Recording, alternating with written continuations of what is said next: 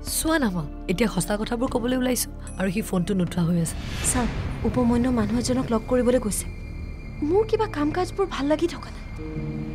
আচ্ছা তোমালোক আছা এতিয়াৰ পৰা শৰ্মিলাৰ ব্যস্ততা বাঢ়িব পাৰে। প্ৰাণৰ প্ৰতি শংকাও বাঢ়িব পাৰে।